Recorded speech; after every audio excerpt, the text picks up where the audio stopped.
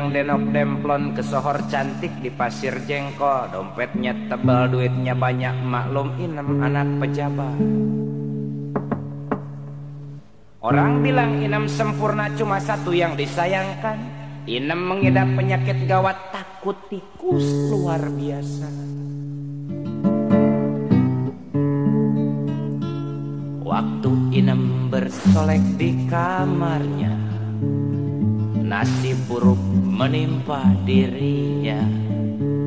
Inem melihat tikus gede benar. Brak brik bruk Inem kelabakan. Neng Inem berubah warna Asal cakep jadi pucet. Bodi yang denok mendadak peot penyair bilang Persis dompet tanggung bulan Lantas Inem lari ke pasar cari sentek buat nangkap tikus. Sentek dibeli tanpa ditawar lantaran grogi bercampur girang. Dia seruduk dia punya bupet cari roti buat umpan tikus. Kok sial amat Inem ngedumel Bupet bolong kosong melompong. Eh, tapi nem bukan perawan yang geblek. Biar gugup otak tetap encer. Lantas dia gunting gambar roti Di iklan lantas dia pasang Di dalam sentek. Besok paginya Neng Inem ngontrol Hatinya girang luar biasa. Tikus yang gede ngeringkuk disentek putus akal nggak bisa keluar. Eh, oh loh kata Neng Inem biar gede ente cuma tikus. Kepala lo gede tapi mikir nggak becus. Otak lu cuma nyampe di roti. Iya iya iya Inem iya iya iya iya iya Inem. Inem bawa sentek ke tempat yang terang Tikus nampak lagi nyenyak bobo Lantas teliti dia punya teliti. Aduh ampun Gusti. Ini kok cuma gambar tikus? Teriak Inem dan lantas pingsan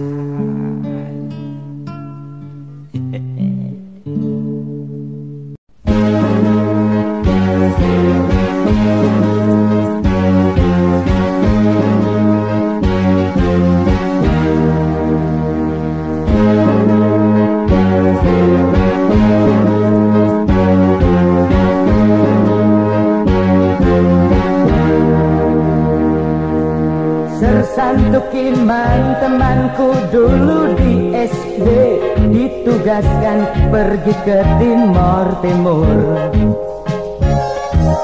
Sebelum pergi anak tunggalnya dipeluk Sambil memberi pesan jangan nakal.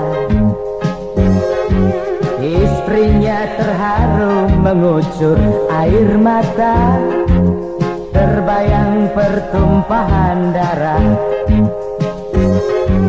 Memang semua orang khawatir terhadap perang.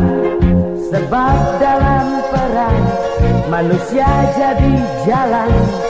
Walau untuk tujuan kemanusiaan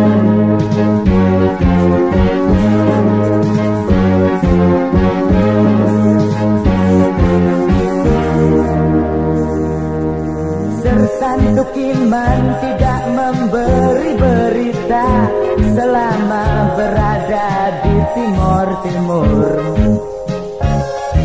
Istrinya was-was memikirkan nasib suami.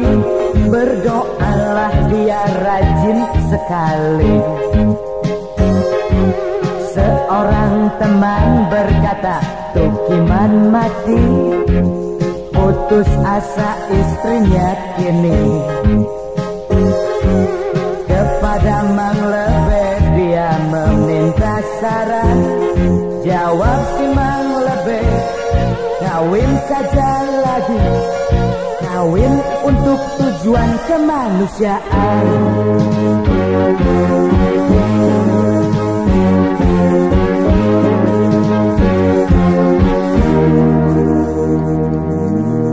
Sersanduk iman tiba-tiba muncul lagi.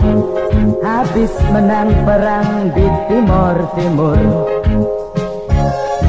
Istrinya kaget berhadapan dengan dia. Tubuhnya terasa lemas sekali. Tukiman bertanya Anak siapa kau gendong? Dulu anak kita hanya satu Jawab istrinya Kata orang kau telah mati Jadi aku kawin lagi.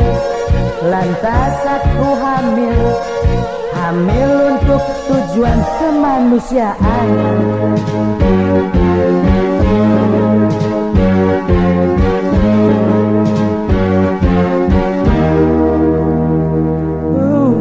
Sersanduk iman merasa sangat terpukul. Sepulang ia dari timur timur. Seorang diri dia menyusuri jalan Memasuki sebuah rumah minum.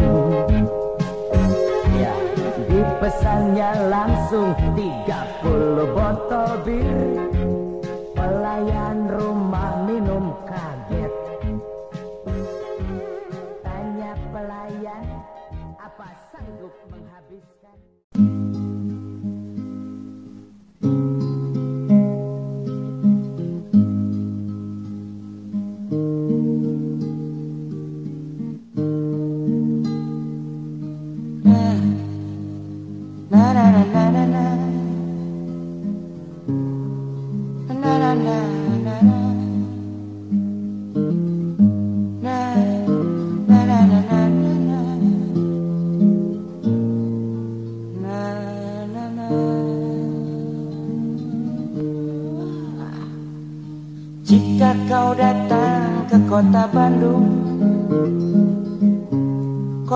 Kota Paris Van Java Kota Asia Afrika. Kau tak perlu bingung. Jalan-jalan berlobang Sengaja dibiarkan katanya Untuk sport jalanan. Para gelandangan dan peminta-minta Sengaja dibiarkan untuk objek wisata. 20 tahun sudah sampai sekarang Bandung tanpa perubahan kecuali Angka kelahiran dan alun-alunnya Yang banyak lontenya, yang banyak homonya Yang banyak kutunya Dan semua itu berlangsung terus Di depan sebuah masjid agung. Naik bis kota Damri atau tata Manusia jadi ikan pindang Seperti di pasar Ciroyom. Lalu lintas yang macet Bukan salah pak polisi Yang kebingungan memikirkan periuk nasi.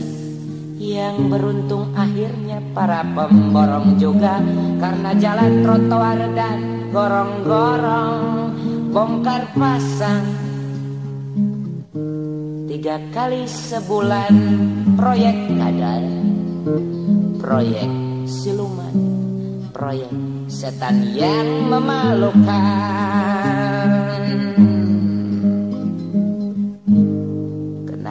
Kenapa semua ini tidak diberitahukan? Maklum, karena sejumlah wartawan terikat kontrak dengan jatah bulanan sepuluh ribuan. Tapi jangan tanya soal gaya, gayanya persis dengan gaya wartawan dunia. Nulis berita satu kolom saja sudah pamer ke mana-mana.